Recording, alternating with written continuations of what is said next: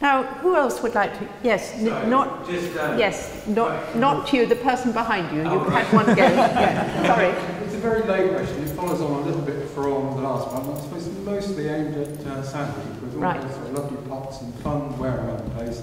All sorts of different shapes, textures, uh, some warped, some cracked, some splodged. Do any of the abstract artists have ones that they do and they reject and they say, no, I don't want anybody to see those, or because it's from within them, does it all go? Sandy, did you hear that all right? Uh, do I do I do pieces that um, that I don't want people to see? Is that what Yeah. that I don't think have worked? Yeah. Yeah, I do sometimes. Yes, and it's usually because I'm um, um, agitated or trying to do something, or I haven't let go of there's something I'm holding on to that I haven't let go of. You mean something psychological? Yes, Yeah. you know, it's to do with you know how I am internally. It's not, uh, and if I'm if I'm if I'm in the right state myself, you know, uh, I'm calm. If I'm calm, um, it's like I can go through a doorway into this place where anything is possible, and then then I very rarely reject, reject things that happen then, um, and I, I notice that the things I reject are if I've been in too much of a hurry or I haven't been I haven't calmed myself down I haven't gone through the doorway um, and, and uh, that's yeah so I do you know yeah not, not everything works at all no not at all But Sam, yeah. That's Yeah. A side view that you wouldn't want people to see as being represented. yeah no I break it up I've got a hammer I don't even want to look at it never mind let anybody else see it yes. But Sandy, variation on that theme, you were telling me how last week or a few days ago, the, the mighty piece standing in the middle there, you came in in the morning and that had fallen apart. yes what did that yes. say to you? Yes, yes, yeah, yeah, no, uh, yeah, because uh, I was just going to say also that you know we have been talking about painting a lot, and my work is painterly. That's true, and I'm delighted to be um, you know part of this. Um, but I also think about what Herbert Read said about pottery being the most abstract art, and I can't remember the full quote, but it's something you know it does include that. And that I made an archetypal pot. I made that big pot on there um, last week when I was getting a bit, uh, I need some more stuff. Uh, I, I had one, so let's make a pot in a day. So that was the biggest pot I could make in a day. I made it in a day, put some, uh, made it with black clay, put some white slip on it, which is sort of very soft, and clay is very soft when it's soft, and it, it you know, you, you can't make huge things because it just collapses. It's earth, you're working with plastic earth. And so I finished the part, you know, it was a larger version of that one on, on the, you know, an archetypal sort of pot shape. Um, went home, feeling very pleased with myself. Came back in, well, actually I didn't even get a chance to come back here. Shun, my assistant, ran over and he, he, he said, he said, there's a dead body. and the pot had collapsed, it had collapsed.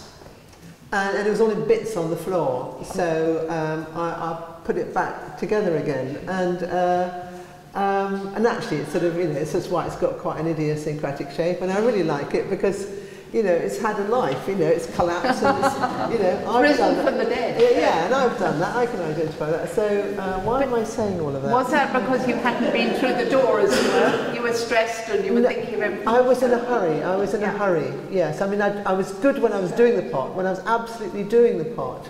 And, um, and that's why the, I'd liked the pot in the first place, which was why I wanted to save it. And I was very disappointed.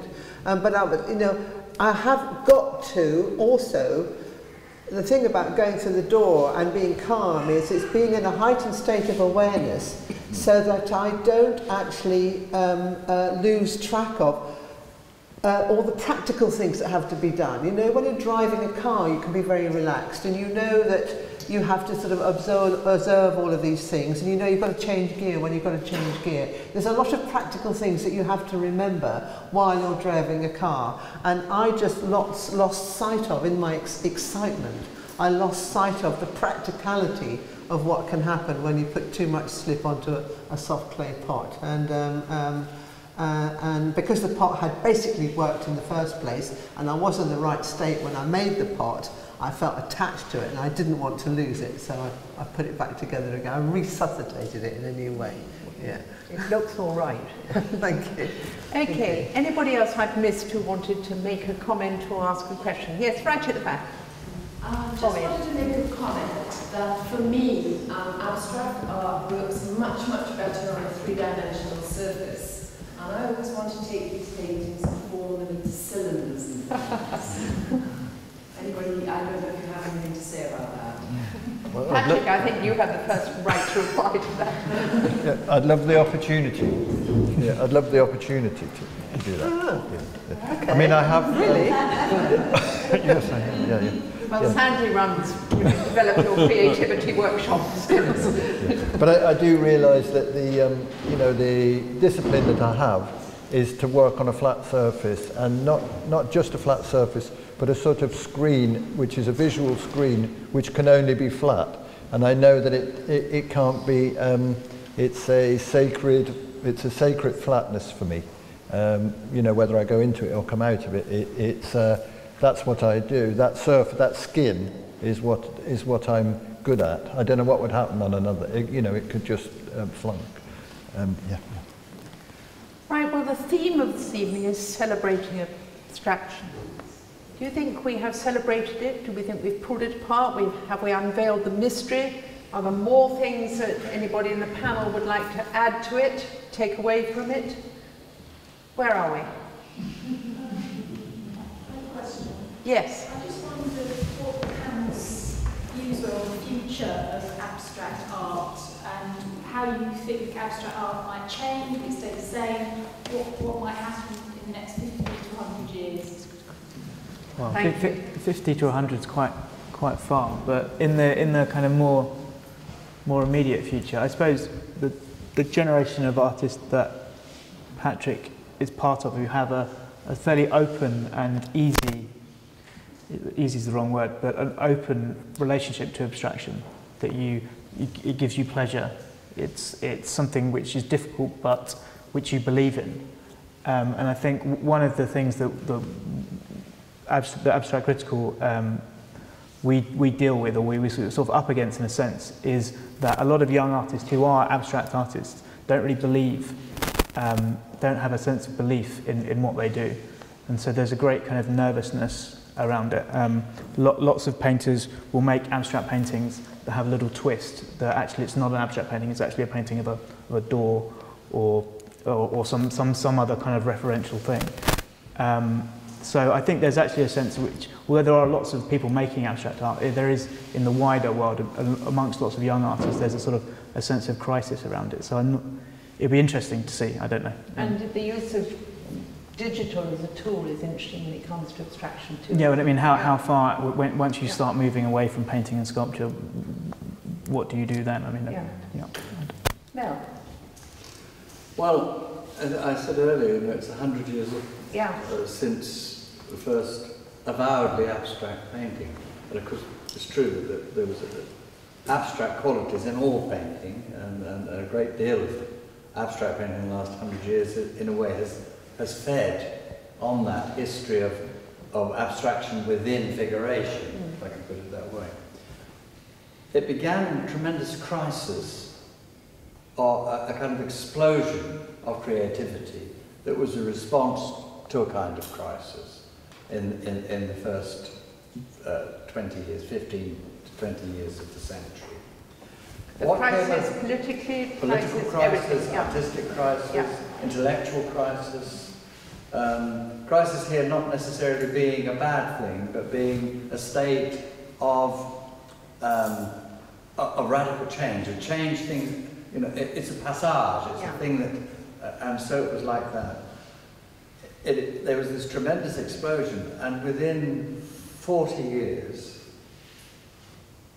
there have been so many manifestations, so many differences, so many varieties of abstraction, so many possibilities being explored, and that continued one way or the other, with gaps and, and, and you know, uh, longueurs and moments when not much was happening, through to now. And I just think um, that we have no idea where it, because it, it, it as it doesn't exist, where they are going to go.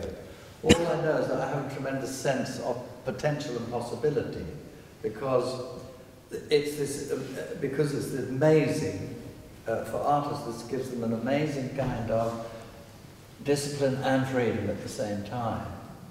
Um, and it seems to me that uh, there's no reason to suppose that there are, there are kinds of abstraction that we cannot possibly envisage, but which will emerge, you know, as, as time goes by. And out of, as much as anything else, out of the sort of crisis. Well, yeah, exactly. talking Yeah, I mean, that, that's true. The crisis of confidence in painting, for example, that happened in the 70s, basically, when, uh, you know, when people began to say, you know, painting is dead, in another way than they had said it in the middle of the 19th century, when they thought photography would replace figuration.